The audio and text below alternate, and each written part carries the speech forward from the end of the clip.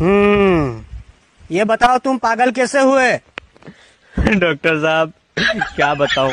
मैंने एक विधवा से शादी की अच्छा। उसके जवान बेटी से मेरे बाप ने शादी कर ली।